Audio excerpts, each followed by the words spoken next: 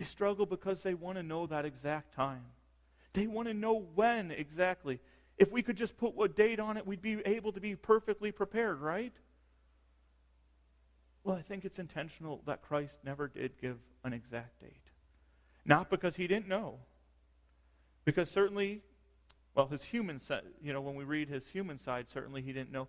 But as God, he knows exactly that time.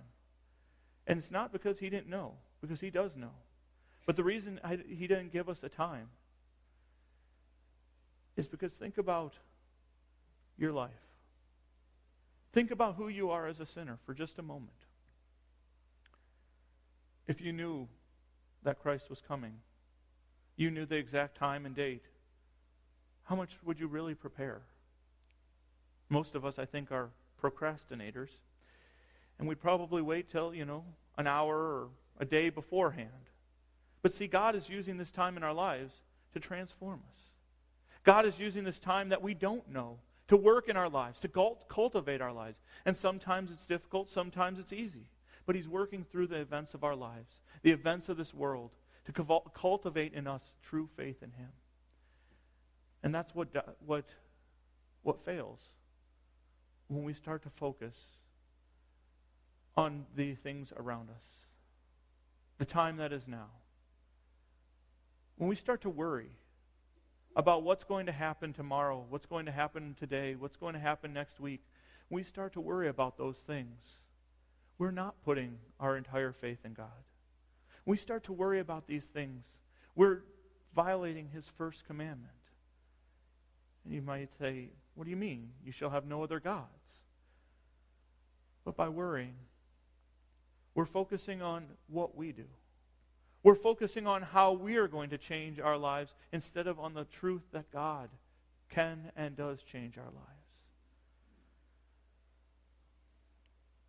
There's a difficult balance of living in the now and living in the future, knowing that Christ is coming again, not dwelling so much on the worry, but also knowing that we can't stop living our lives in, in the, this, each day and each moment.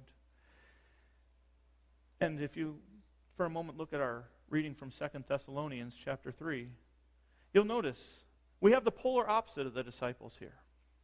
The disciples were so focused, they were focused on the stones, and they were focused on what was happening in their day. On the other hand, we have the, the people of Thessalonica, who, well, Paul had come to them. He had preached the gospel that Christ was coming again.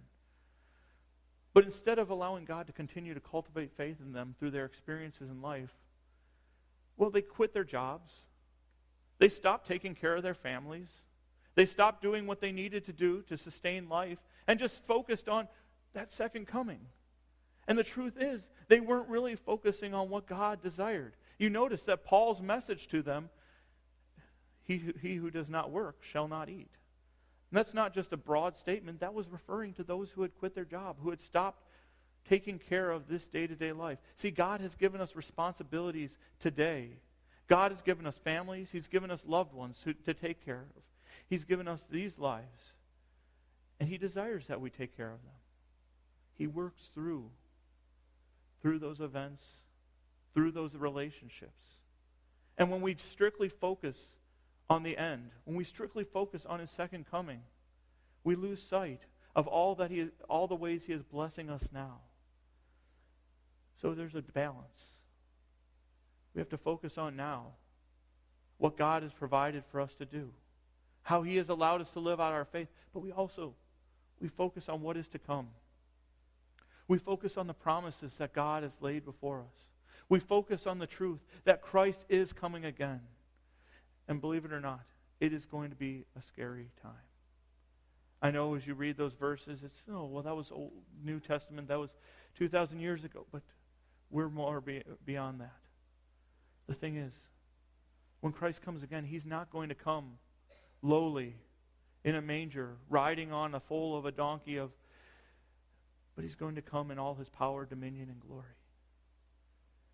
It's going to be a scary time, but it shouldn't be for us as Christians.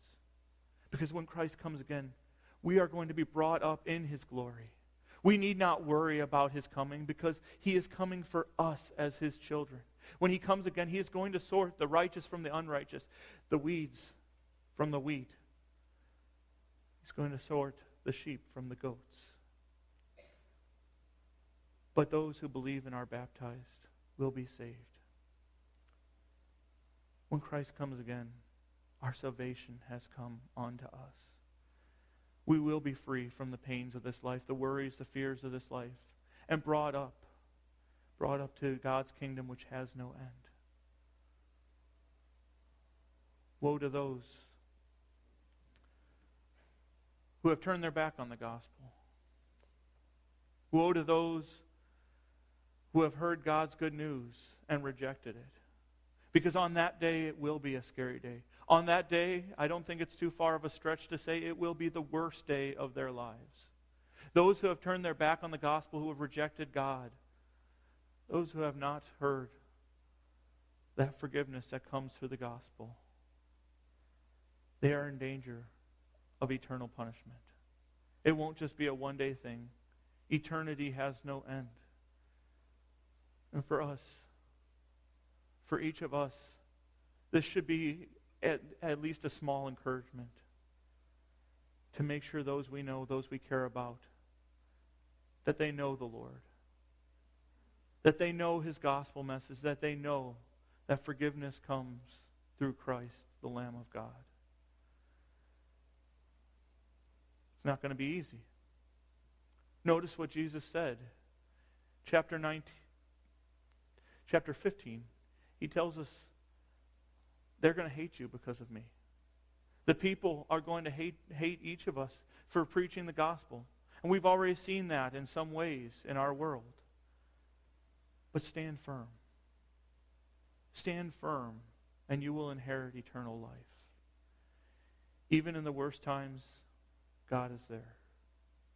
And He is preparing us for that last day. He's preparing us for that time when we will join Him in heaven. Do not be afraid. Your salvation is near. Christ is coming to bring us home. Let us pray. Christ Jesus, there are times in our lives where we worry, where we become afraid, where we doubt and distrust you. Forgive us for those times and reassure us. Help us to stand firm Help us to stand firm in the face of all the things that are happening around us. Help us to stand firm as we face each day. Lord, send your Holy Spirit that he may guide us, that he may direct us. Reassure us of your love.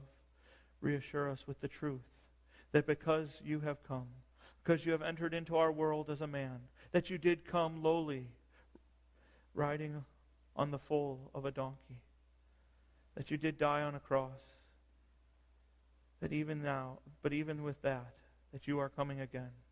Not lowly, not in weakness, but in power, in strength, and in glory. Lord, help us to long for those days of glory. Help us to see what you have set before us now, to share your love, to share your gospel, to carry your message. In Jesus' precious and holy name we pray. Amen.